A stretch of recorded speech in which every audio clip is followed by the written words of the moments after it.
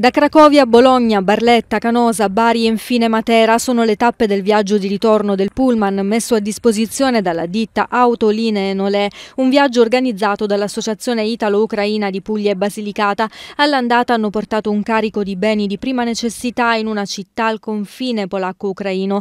Al ritorno il mezzo si è riempito di ucraini in fuga dalla guerra, alcuni dei quali sono arrivati anche a Matera in piazza Matteotti. Ci siamo ecco, anche un po' per coscienza eh, sentiti in dovere di eh, organizzare, di fare qualcosa. Abbiamo chiesto cosa avremmo potuto fare e c'era necessità di andare a prendere dei profughi con destinazione ovviamente Italia, eh, diverse, da, da, da, lasciare in diverse città eh, italiane.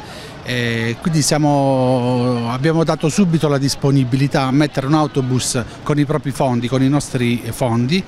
Eh, abbiamo avuto la disponibilità anche di tre autisti esperti anche del settore del noleggio estero, eh, quindi linee internazionali eh, che anche loro volontariamente si sono subito offerti di partire immediatamente, anche perché ci veniva detto che questi profughi erano già eh, diversi giorni che aspettavano comunque un passaggio tra virgolette per l'Italia perché avevano dei contatti personali ma anche per il tramite dell'associazione eh, su tutto il territorio. Oggi sono arrivati prime persone familiari di un ragazzo che abita qua eh sono stanche, dobbiamo sistemare a dormire diciamo.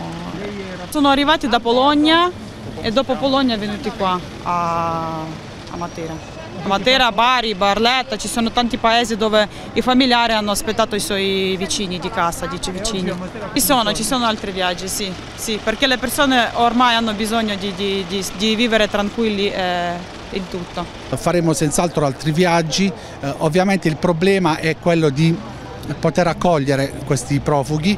E auspichiamo che le amministrazioni, io so già che si stanno interessando diversi comuni, eh, non ultimo mi sembra il comune di Ferrandina ha fatto un avviso per, mettere, eh, per, per eh, reperire la disponibilità di immobili da destinare ai profughi, ovviamente sono disponibilità che devono guardare al medio e lungo termine e quindi compatibilmente con le disponibilità degli immobili noi siamo pronti per andare a prendere quanti più profughi possibile.